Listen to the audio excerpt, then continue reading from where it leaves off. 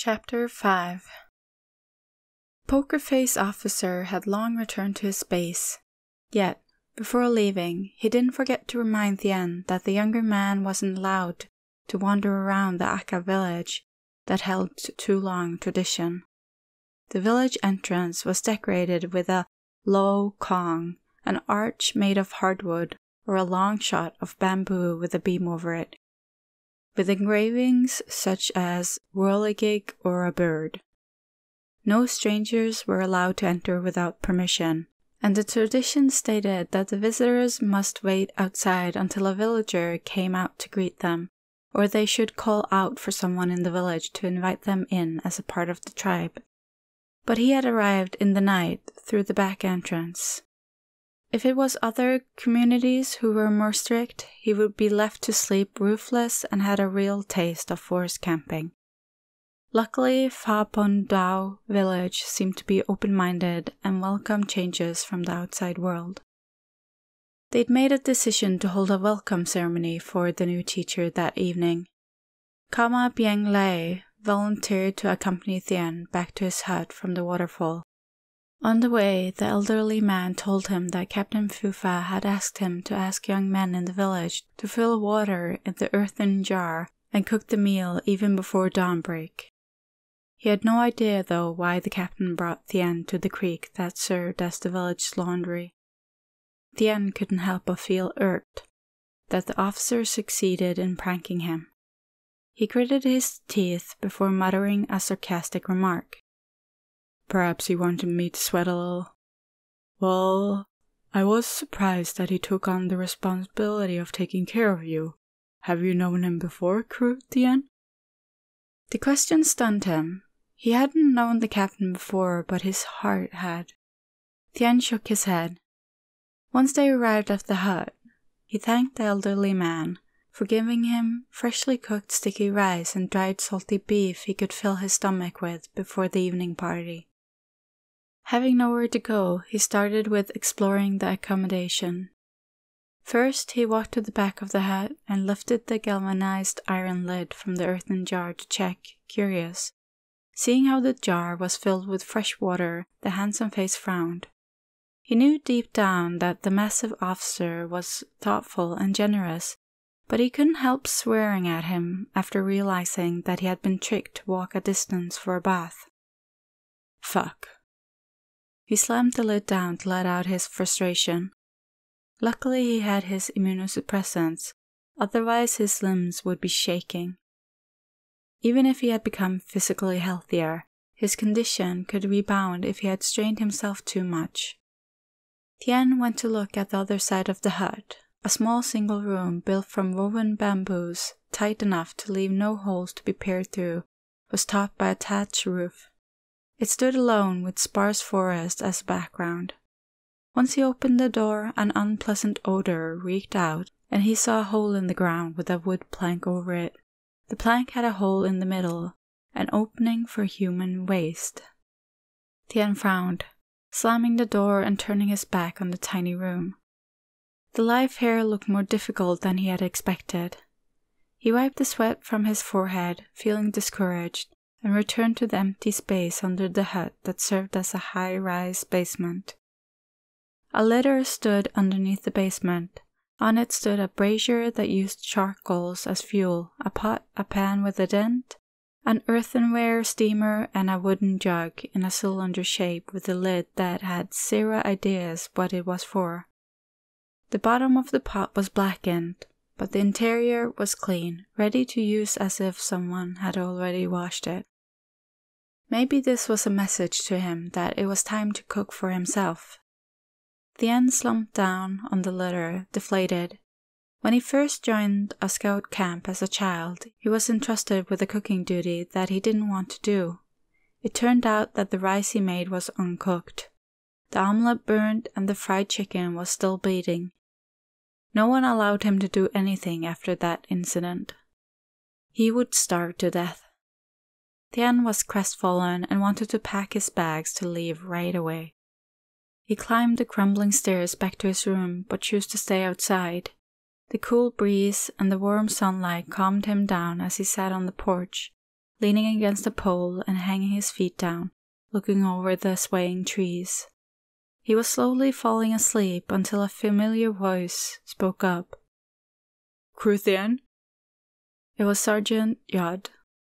The soldier was wearing a green khaki t shirt and an undershirt for the camouflage gears, which meant he'd completed his shift.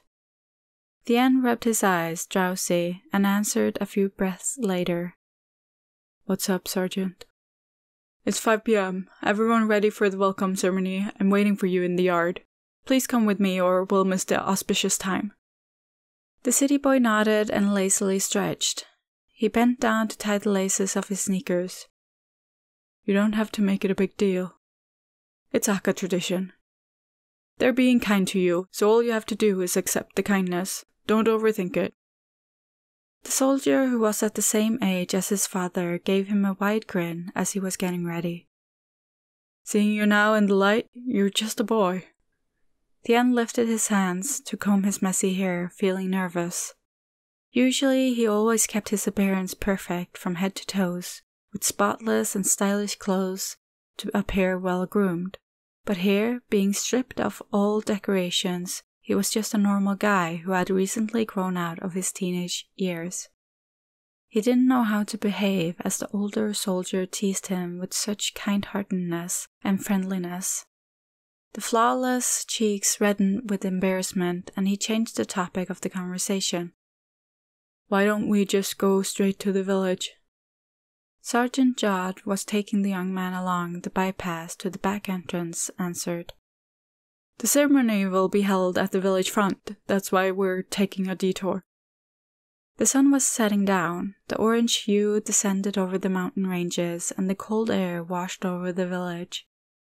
Thien pulled his jacket tight to keep warm.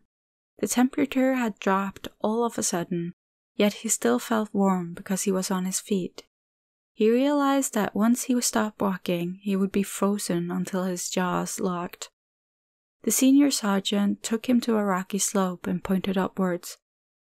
You go up there from here. It's not far, just half a kilometer.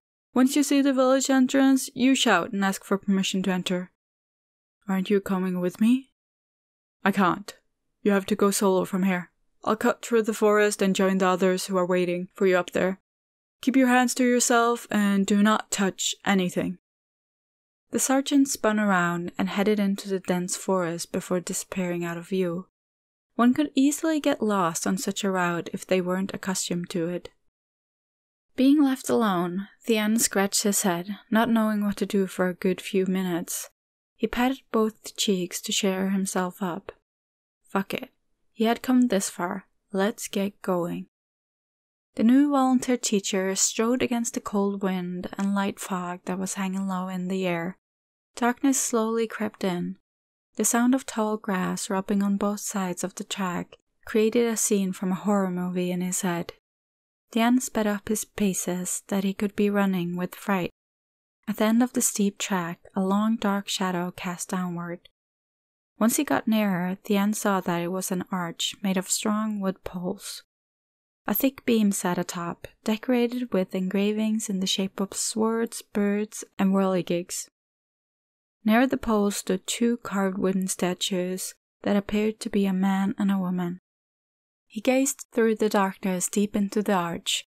All he saw was rows of vaults leading to the entrance. He was surrounded by total silence, and no other souls were waiting for him, as the soldier had mentioned. He suddenly felt chill and goosebumps as he now remembered a documentary about the hill tribe's beliefs in spirits and ghosts. The eerie solitude gave him a fright.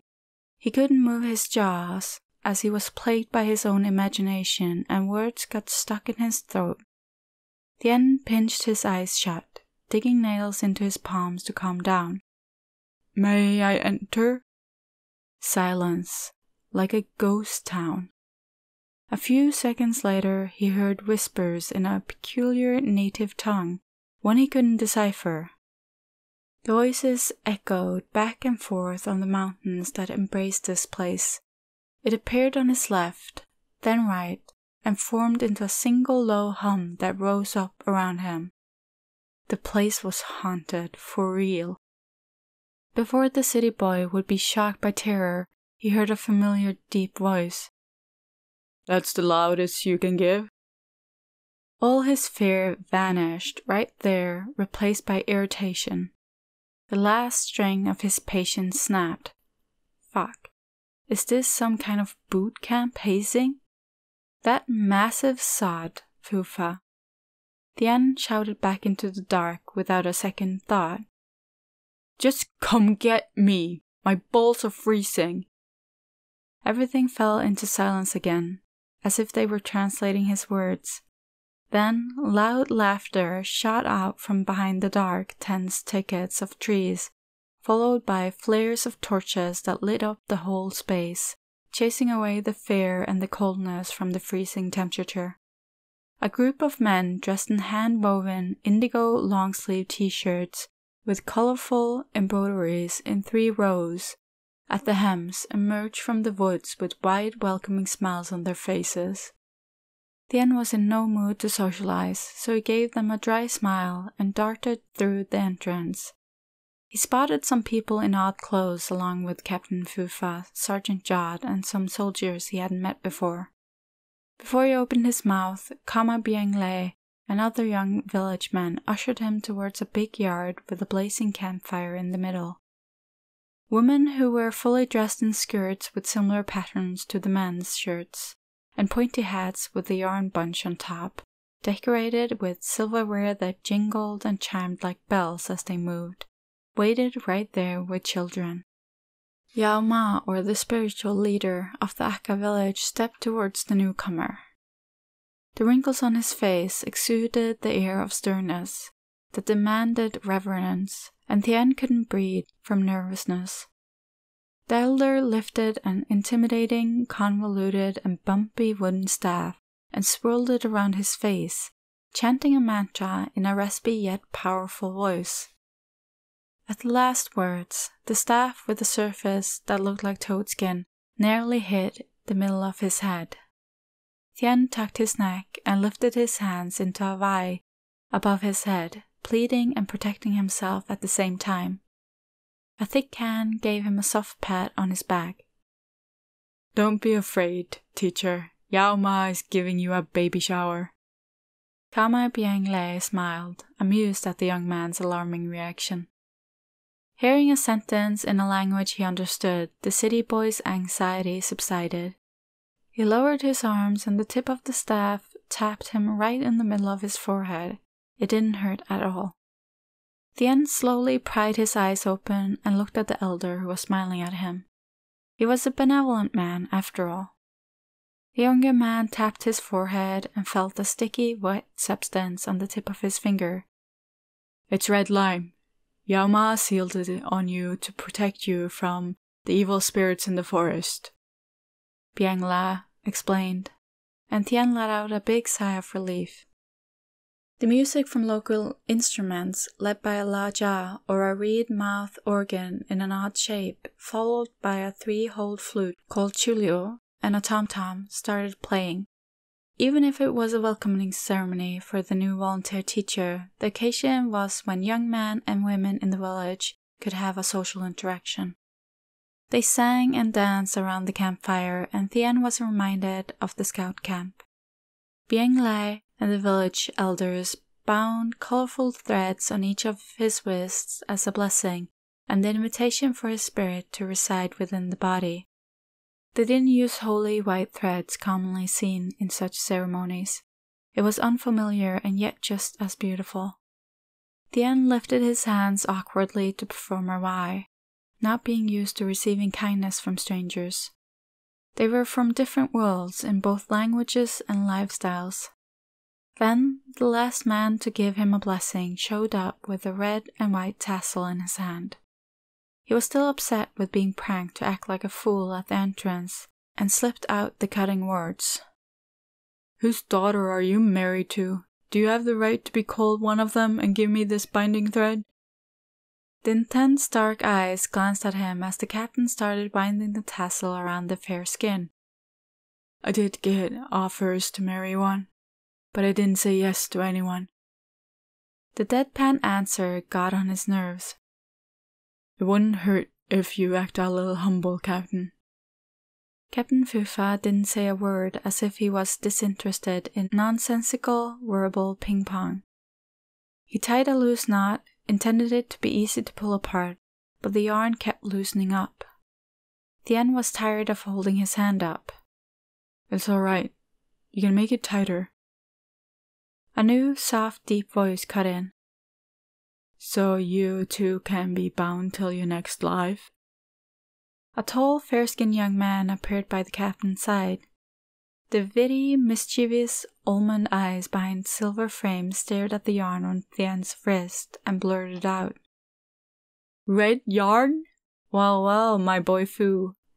You just want to get engaged to him right now, yes? He finished with a loud snigger. The captain, who finished tying the knot, turned to glare hotly at his friend. Cut the crab and get lost. I won't.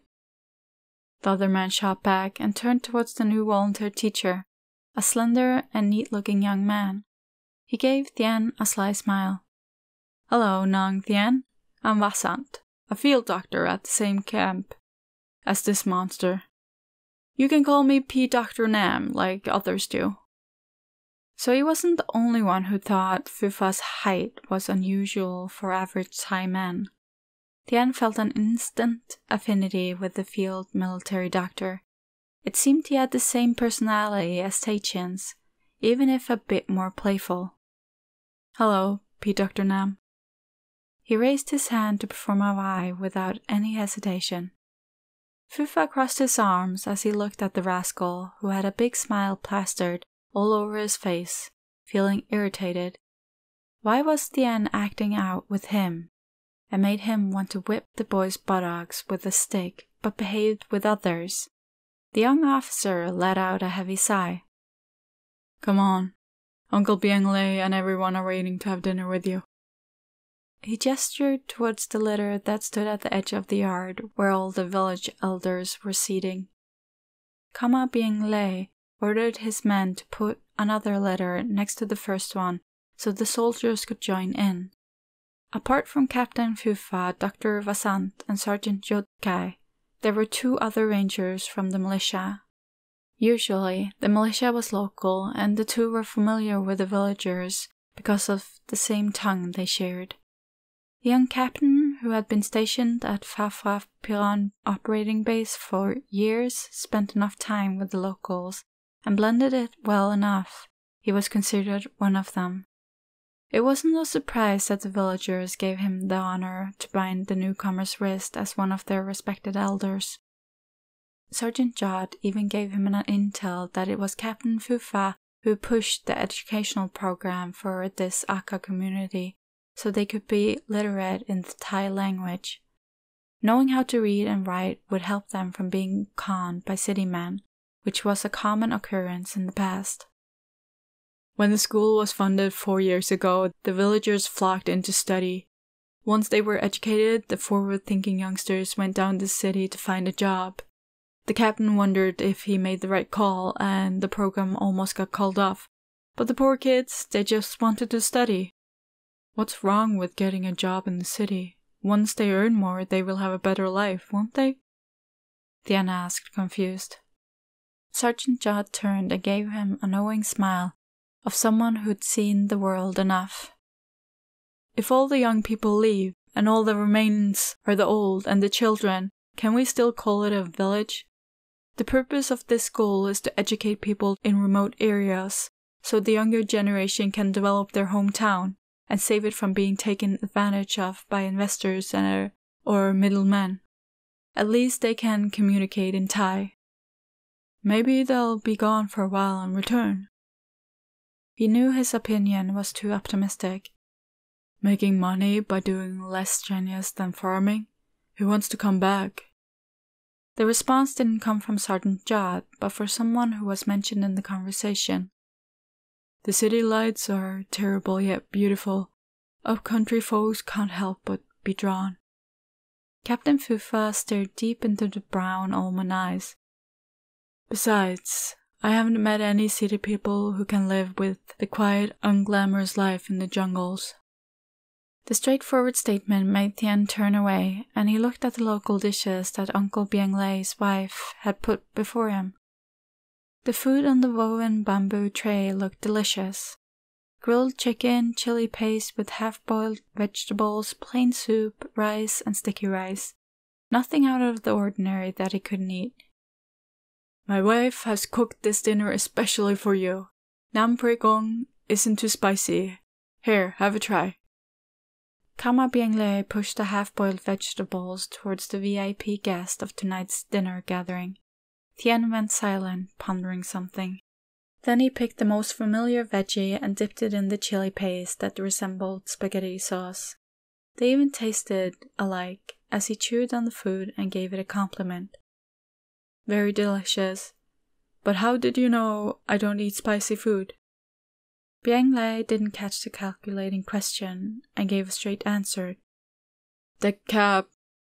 But a deep voice interrupted before he completed the word. Daka put a handful of chili in their jungle food. A city boy like you won't be able to handle it. Fufa turned towards the village chief. Is that right, Kama? Yes, that's right. If your tongue isn't used to the spices, you'll have an upset stomach. Biang Le answered and forgot that he wanted to say a moment earlier. So, Nong Thien should have grilled chicken and a beer with me. The military doctor cut in. His voice slurred from the alcohol and grabbed Thien's shoulder as he lifted an open can of beer towards the younger man. I told my guy to go down to the city at dawn and buy this just for you, you know? As the fermented yeast scent touched his nostrils, Thien's mouth watered. The former party boy had to say no to the alcoholic drink with deep craving and regret. I can't drink. Are you kidding me? Vasant looked at the man in his arm. The guy didn't appear to be a prude. Had he misjudged the boy? I'm not kidding. I'm allergic to alcohol. It gives me rashes and I can't breathe. Thien gave a sheepish smile and put a bowl of sticky rice into his mouth being too aware of the intense, inquisitive stare from the poker faced officer. Doc, don't overdose. You're lightweight who just overestimates himself. Fufa pulled the arm around Thien's slender shoulder away, perhaps too forcibly, because the drunken doctor swayed and dropped his head on the strong shoulder instead. Why is my head spinning? The fair skinned doctor from a Thai Chinese family reddened up, and he looked quite charming under the glistening light. The young captain shook his head, a slight smile tugging at the corner of his lips. He looked partly concerned, partly fed up. The new volunteer teacher looked up, caught the moment, and the chicken leg almost flew out of his mouth. A freaking Brokeback Mountain. Thien pushed the horror out of his mind as the captain pushed the doctor's slack head away, lolling towards the sergeant with a grunt. Who bought you the beer? I'm going to interrogate them all. Dr. Vasant was defeated by his own biological building blocks and passed out. His companion took the trouble in taking him back to the operating base before the party was over. Thien looked at the massive officer who was carrying his friend away his mouth fell open as if to say something. Still, he didn't utter a word as the two shadows vanished in the darkness. But you said you'd see me later. The thin lips pressed tight into a line. What a moron.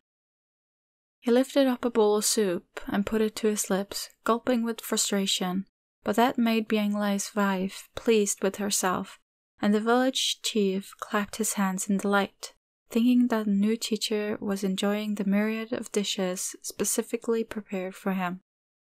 Thien's stomach was close to bursting. The clock struck at 9 p.m.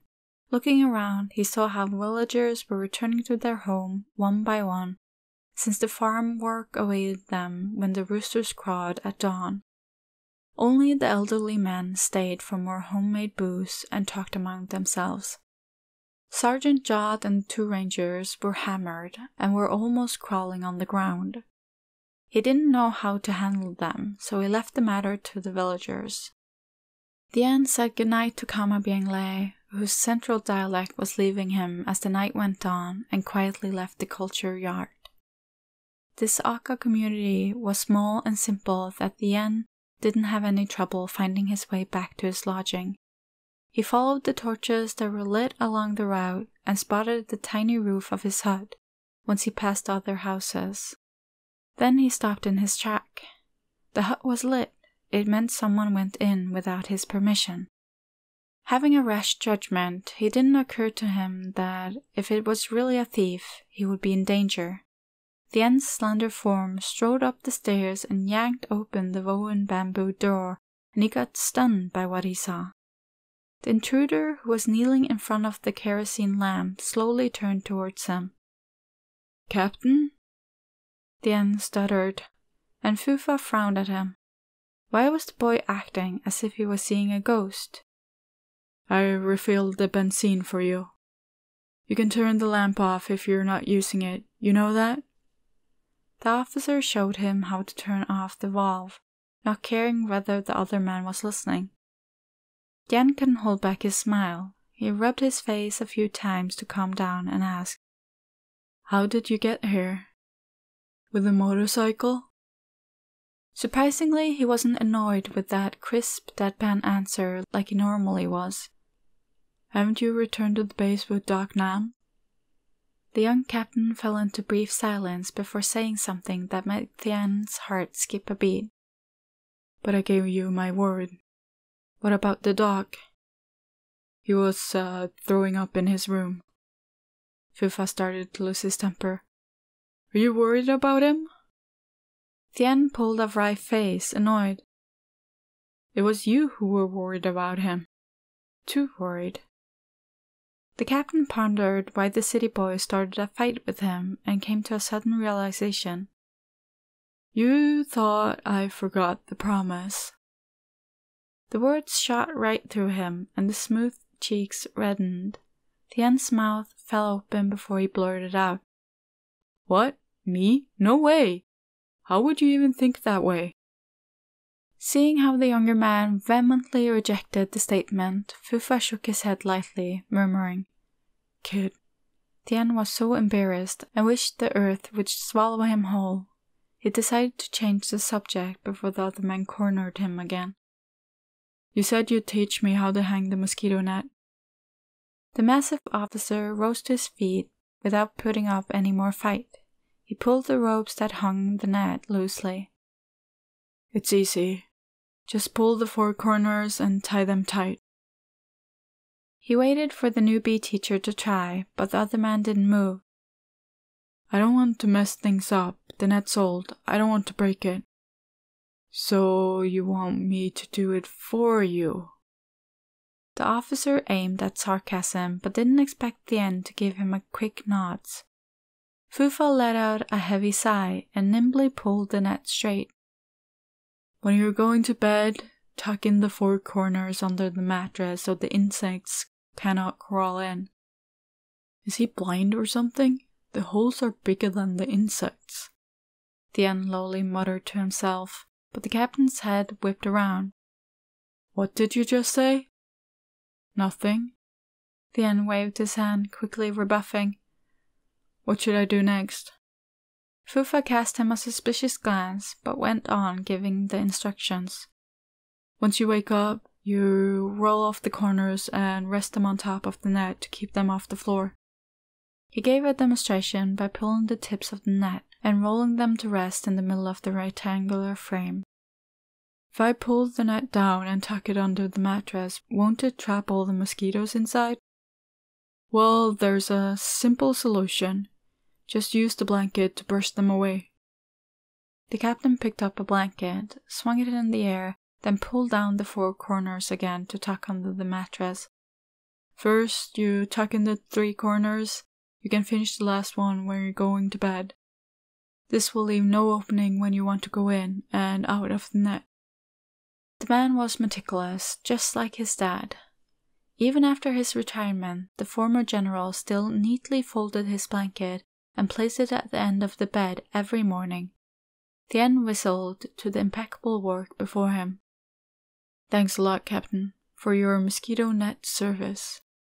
I'm going to brush my teeth and wash my face at the jar at the back of the hut, since the water is now so full. He emphasized the last words to imply that he already found out about everything from Kamabiang Le. It took a while for Captain Fufa to realize that he had been duped by the rascal to do all the work for him.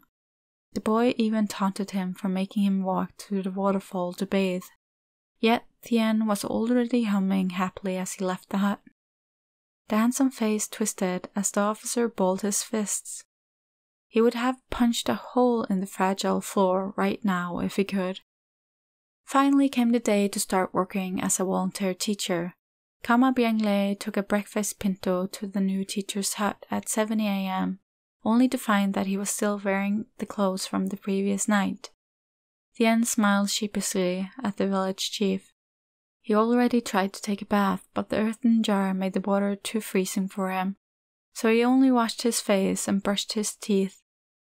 The weather here is quite cold, he said, trying to hide his embarrassment. You'll get used to it. It's going to be even colder next month. It's going to be colder? Thien grimaced. He always turned on the water heater at home, and this place didn't even have electrification. How long could he survive? In some coldest years, the temps drops below zero. Biang Lei made it sound worse to tease the young man who was curling up into a ball. How could you handle it by not taking a bath? The village chief laughed. We'd all get eczema if we don't. Here's what we do we boil the water and mix with the room temperature water, and we get the warm water. You've got a stove under the hut, haven't you? I saw, but I don't know how to use it, he confessed. Don't worry, I'll tell Captain Phupha to teach you how to light the fire. Hearing the captain's name, the boy scowled. Why him? You can teach me yourself. Because the captain takes good care of you, and I don't want to steal his job. Biang Lei answered humorously, but it made the younger man's scowl deepen. Thien didn't want to argue, so he started munching on the food, freshly cooked hot boiled rice with tons of vegetables, uncaring if his tongue would get blisters. Kama Biang Le took the new volunteer teacher along the route that led to a small school where children in Fa Pan Dao and nearby villages studied together. It was located on a high spot on the cliff that was a kilometer on foot to reach. After a while, Thien heard the Thai national anthem with a slight accent coming from the distance. The rectangular flag that was waving above the thick scrub ahead made him stop in his track, looking up. Thai national flag. The old faded flag that had been used for a long time slowly slid up the pole, which was a simple bamboo stalk with a pulley. It was a familiar sight, but how many people knew the real meaning of this flag? Our ancestors loved this land, you know. Biang Le asked. Seeing how the younger man was standing still, he stepped closer with a proud look on his face. Without this land, we wouldn't have home and would have become vagabonds, someone without nationality and safety. This must be the different world people had talked about. He remembered the time from elementary school to high school where students were forced to stand in the yard under the scorching sun just to sing the national anthem every morning. He remembered cursing at the rules and regulations that made his student life so unpleasant. He never appreciated it all and never understood why. He even made a plan with his friends to take down the flag from the pole and hide it. Yet, the people who lived in the remotest outback were contented to have a chance to sing the Thai national anthem. Let's go. The children are waiting to meet you. Many of them came here today just to see you. Fa Pan Dao, village chief, patted the skinny back to signal that it was time to move again. Even if it was called a school, it was something beyond his comprehension. The school was a mill with bamboo structures and attached roof. The three walls were made of strips of split bamboos, with a hole as a window on each side to let the light in. And the fourth wall was covered with a medium sized blackboard. The floor was covered with mats. Ten makeshift desks stood inside without chairs, and the students had to sit cross legged on the floor to study. The children lined up in front of the flagpole, from the tallest to the smallest one, with two rangers Thien had met last night standing nearby. All of them were staring at the new teacher with hopeful eyes. Seeing the innocent eyes shining with bright hope, Thien was struck by a sudden nervousness and turned towards Biang Lei. Um, you said they were many, but what I saw wasn't more than twenty. This is already quite a number, teacher. The children need to help the parents work the field. On some good days, you'll be lucky enough if five of them show up to the class. Thien nodded, not wanting to argue, and stepped to stand next to the flagpole along with the older man. Kama Biang Lei announced something in Akkad native tongue that he understood nothing of, but he knew it was about his presence. Later, the children flocked into the classroom and sat down on the floor as well behaved students did. Let's get inside. Biang Lei led him to the blackboard where a box of white chalk was placed on a bookshelf nearby. Please introduce yourself, Kama told the younger man. But I can only speak the central dialect. They'll understand. Some of them are fluent in Thai, especially the tallest one over there. Biang Lei gestured towards a boy at the back of the classroom. He wasn't older than fifteen. Thien rubbed his neck. His throat felt like lead, and he was unable to utter a word. He didn't see himself as a teacher, not mentally or physically, yet he had to introduce himself as one. I'm, uh, my name is Thien. I'm from Bangkok. Nice to meet you. Savadika, came from the children, and suddenly his heart swelled. Now, each of you should introduce yourself to Kru Thien. Biang Lei spoke in Thai, and the Aka kids took a turn to say their names. Some were in their native language, and some were in Thai. The village chief had told him earlier that some parents had worked in the city and gave their children a Thai name in their birth certificate Kru Thien, I need to excuse myself. The school finishes at 3 pm, but if you want them to do some extra activities, just tell them when. The village chief gave the new teacher an encouraging smile. It was obvious this was his first job. The elderly man excused himself to leave, waving his hand goodbye, and Thien stood awkwardly with a dozen pairs of curious eyes staring at him. Um. He didn't know where to start. Maybe the alphabet? He hadn't written down the first to the last alphabets in ages. How could he recall all of them now? But before the staring contest went on any further, the girl spoke up in a clear, tiny voice. Kru Thien? Is Thien the same word as crayon? The man who stood still in front of the class processed the question and answered, No. He didn't know how to explain, so he turned around and wrote on the blackboard with chalk, something that was rarely used in schools in Bangkok nowadays. The slender fingers moved the white chalk slowly, not used to it, and contorted Thai alphabets appeared on the board. Thien. This is how it's written. With a different spelling, it means a prophet. What color is a prophet? A prophet means a wise one. He tried his best to keep the explanation concise, yet the kid still didn't get it. Why can't it be a crayon? Thien mentally raised a white flag. All right, it's a crayon. Kru Crayon! The other kids who pressed their ears to the conversation blurted the name out in unison with giggles. So, what are we going to learn today? The children seemed to be accustomed to the new teacher, hence the second question. What to learn? The city boy stood stunned as the words of Van Eyes, the director of Song Thong Foundation, echoed in his mind. Children's ages varied greatly here, so it was problematic to construct a study plan to fit them all. What did your previous teacher teach you? It was an easy way out, but the Hill Tribe students spoke up at once trying their best to give him the answer, and his head started to spin. Thien lifted his hands to stop them. Tomorrow, you guys take the notebooks with the homework assigned by the previous teacher to me. Once the children nodded, he let out a long sigh of relief. It seemed he was going to make it today after all.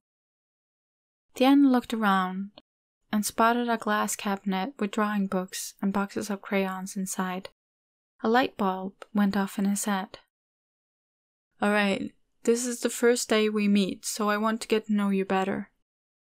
He called the students of varying ages to sit down in circle and put pieces of paper with crayons in the middle so that they could share. I want you to draw a family picture for me.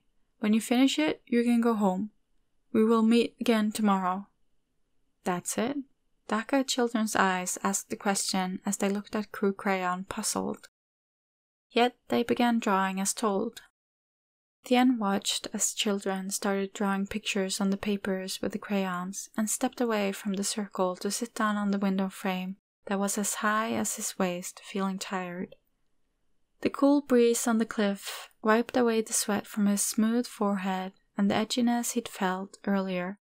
Outside, the two rangers were patrolling as if terrorists' attack could break out on his steep hill at any given moment. Thien rose up to walk and sat down many times for an hour or so when a boy nudged at him. He remembered the boy's name to be Aji, age 14, and he was the biggest boy in the class. Here's my homework. Though boy's Thai accent was flawless, perhaps he had studied with many volunteer teachers since the birth of the school. Thanks, Thien took the paper and saw the drawing of a mountain range with the sun in the middle. A house stood in the left corner with human figures holding hands on the right, a family portrait. Yet, apart from the figures wearing Aka costumes within unique rectangular patterns, there was also a man in a camouflage uniform and a young woman in a long robe with a flower behind her ear. Who's this? He pointed at the soldier figure, curious. It's Captain Phupha. Why is he in the picture? Dad told me the captain always helps us out, so he's family too. The boy answered honestly. And who's the girl? He pointed at the figure that stood out from the rest. Crufun. The name that came out of Aji's mouth vaguely reminded him that Thorfun had written about an Aka family of one student that had taken her under their wing during her time at Fa Pandao. They told her to call them Ada, Dad, and Ama, Mom. Do you miss Crufun? He didn't know what made him ask that. The boy's innocent eyes made him miserable. Did they know that their beloved teacher couldn't return, not in this lifetime? Aji nodded. I do, but she promised that she'll be back as soon as she can. The boy's answer sent a chill down his spine. It's waiting in vain, without any miracle. Thien absent-mindedly lifted his hand to touch his left chest. In fact, she had returned to them, but only in the form of his heart. Kru, Kru Crayon! The one who called him was a girl who had given him the new nickname. The tiny little one ran towards him. It's done! Two soiled hands thrust her proudest work at him. Thien frowned as he saw the exact same characters like the ones Aji had drawn. Who are these figures? Me, you? The little one pointed at herself, then at the bigger boy next to her. P.I.G.? She started pointing at the each figure that was drawn in uneven lines. This is Dad, Mom, Captain Phupha, and Kru Fun. So these two were siblings. The city boy came to an understanding that he couldn't really tell who was related to who, since all of them looked the same to him. He would believe if they told him the whole village were cousins. Aji, you. now you've handed your assignments, you may go home. I'll see you tomorrow, all right? Miju smiled widely, happy, and turned to speak to her brother in their native dialect. Aji raised his hands to wai the new teacher and took his sister's hands as they left. It was the afternoon when the other dozen children finally completed their tasks. You finished early. One of the rangers said as he peered into the empty classroom. Thien smiled sheepishly. How could he tell him that he didn't prepare any material? The first lesson starts tomorrow, but are military guards really necessary? He asked what he was wondering about. The younger ranger was quiet as if to think. We're at the borders. It's not somewhere we can call safe.